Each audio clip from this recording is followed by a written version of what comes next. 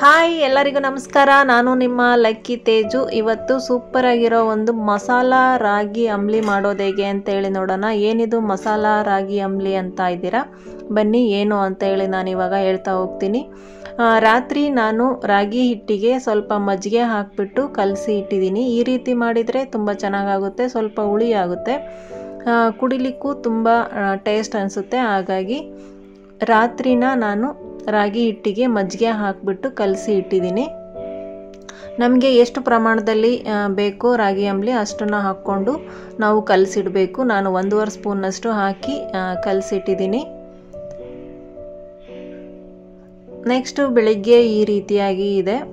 ಇದನ್ನು ಇವಾಗ ರಾಗಿ ಅಂಬಲಿ ಮಾಡೋಣ ಹಾಕಿ, ನಾನು ಒಂದೂವರೆ ಚಮ್ನಷ್ಟು ನೀರನ್ನ ಸ್ವಲ್ಪ ಬಿಸಿ ಮಾಡಿಬಿಟ್ಟು ಈ ರಾಗಿ ಹಿಟ್ಟನ್ನ ಅದಕ್ಕೆ ಹಾಕ್ತಾ ಇದ್ದೀನಿ.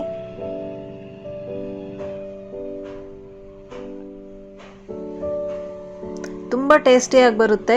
ಸ್ವಲ್ಪ ಮಸಾಲ ಮಸಾಲ ಅಂತ ಅಂದ ತಕ್ಷಣ ಏನು ಮಸಾಲ ಹಾಕ್ತೀನಿ ಅಂತ ಎಲ್ಲರಿಗೂ ಅನಿಸ್ಬೋದು. ಬಟ್ ಇವಾಗ ಹೇಳ್ತೀನಿ, ಏನಿಲ್ಲ.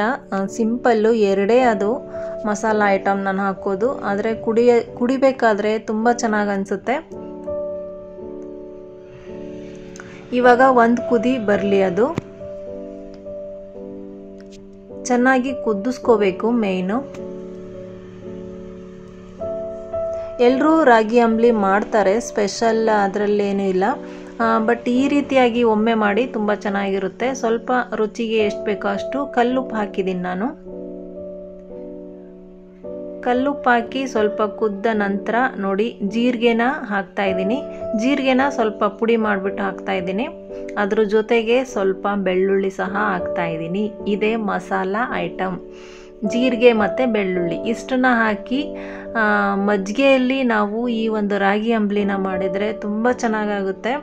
ನೀವೊಂದು ಸಲ ಮನೇಲಿ ಟ್ರೈ ಮಾಡಿ, ಈ ರೀತಿ ಮಾಡಿಲ್ಲ ಅಂದರೆ ಈ ರೀತಿ ಮಾಡಿ ನೋಡಿ ನಿಮಗೆ ನಿಜವಾಗ್ಲೂ ಇಷ್ಟ ಆಗುತ್ತೆ ಅಂತ ಅನ್ಕೋತೀನಿ. ಇದಾಗಿದೆ.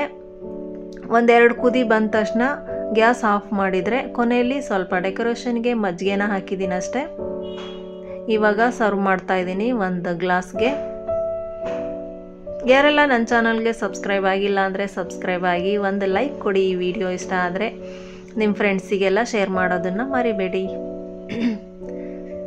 ನೋಡಿ, ಈ ರೀತಿಯಾಗಿ ಮಾಡಿದ್ದೀನಿ. ತುಂಬ ಚೆನ್ನಾಗಾಗಿದೆ. ನೀವು ಒಂದ್ಸಲ ಮನೇಲಿ ಟ್ರೈ ಮಾಡಿ ಹೇಗಾಗಿದೆ ಅಂತ ಕಮೆಂಟ್ಸ್ ಮೂಲಕ ನಿಮ್ಮ ಅಭಿಪ್ರಾಯನ ನನಗೆ ತಿಳಿಸಿ. Thank you.